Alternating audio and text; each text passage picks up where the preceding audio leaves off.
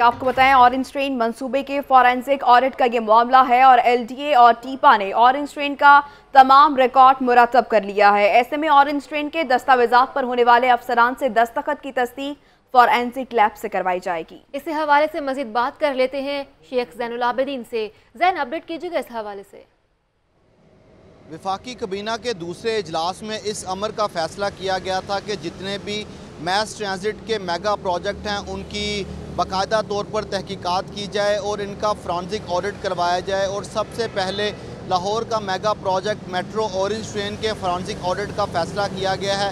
اس سلسلے میں L D A ٹیپا اور میس ٹرانزٹ اتھارٹی نے جو میٹرو اورنج ٹرین کا تمام تر ریکارڈ ہے جو کہ دو ہزار پندرہ سے اس کا آغاز کیا گیا اور ابھی تک جو مرتب کیا گیا ہے، جس میں جو ٹھیکیدار ہیں، ان کو ادائیگیاں بھی کی گئی ہیں۔ اس کے علاوہ جو پروکیورمنٹ کی گئی ہے اور پری کوالیفیکیشن کی گئی ہے، وہ تمام تر ریکارڈ مرتب کر لیا ہے۔ اور اب ذرائع کا یہ کہنا ہے کہ میٹرو اورنج ٹرین کے فرانسک آڈٹ کے لیے ایف آئی اے کی خدمات حاصل کرنے کا فیصلہ کیا گیا ہے اور ایف آئی اے اس تمام تر معاملے کا فرانسک آڈٹ کرے گی۔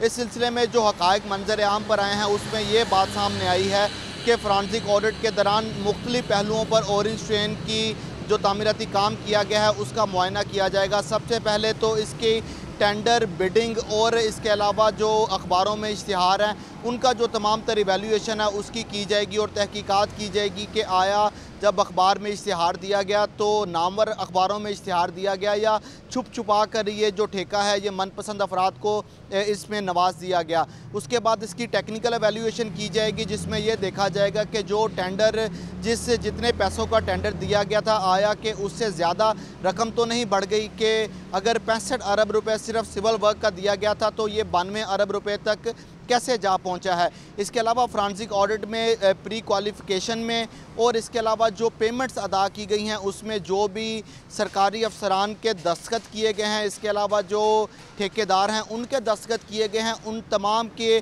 جو دستخط کی ویریفیکیشن ہے، وہ بھی فرانسک لیب سے کروائی جائے گی۔ یہ جو تمام تر ریکارڈ ہے، یہ فرانسک لیب میں بھجوایا جائے گا، اور وہاں پر جا کر ان کے دستخط کا معائنہ کیا جائے گا کہ آیا کسی کاغذ کے اوپر کوئی جعلی دستخط کر کے جو فیج پیمنٹس ہیں وہ تو نہیں کی گئی اور کسی کو نواز تو نہیں دیا گیا، یہ اس میں سب سے اہم پہلو ہوگا۔ اس کے علاوہ میٹرو اورنج ٹرین میں جو مزید تحقیقات کی جائیں گی، وہ جتنے بھی پلرز بنائے گئے ہیں، ان پلرز کی کوالٹی کو چیک کیا جائے گا کہ کیا اس میں جو مٹیریل ہے وہ آئی ایس او کے سٹینڈرز کے مطابق استعمال ہوا ہے، جبکہ اس کے ساتھ ساتھ جتنی بھی پیمنٹس ابھی تک ہو چکی ہیں، جو کہ ذرائع ہیں، ان کا یہ کہنا ہے کہ اس سول ورک کے لیے چھپن ارب روپے کی پیمنٹس ہو چکی ہیں۔ ان تمام پیمنٹس کا آڈٹ کیا جائے گا۔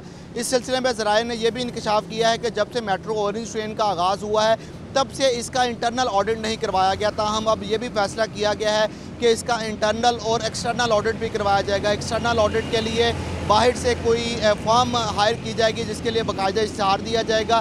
اور وہ اس کے تمام تر جو پیمنٹس ادا کی گئی ہیں، اس کا ٹینڈر کرے گی۔ ایف آئی اے کو یہ ریکارڈ فراہم کرنے کے لیے تمام تر جو ریکارڈ ہے وہ طلب کر لیا گیا ہے اور اب کابینہ کی جانب سے باقاعدہ فیصلہ آنے کے بعد یہ ریکارڈ ایف آئی اے کے حوالے کر دیا جائے گا اور باقاعدہ تحقیقات کا آغاز کر دیا جائے گا۔ شکریہ آپ کا شیخ زین۔ اورنج لائن ٹرین منصوبہ سست روی کا شکار ہونے کے خلاف قرارداد پنجاب اسمبلی میں جمع۔ قرارداد مسلم لیگ نون کی ہنا پرویز بٹ کی جانب سے جمع کروا دی گئی۔ بات کر لیتے ہیں اخلاق باجوہ سے۔ اخلاق بتائے گا اس قرارداد کا متن کیا ہے۔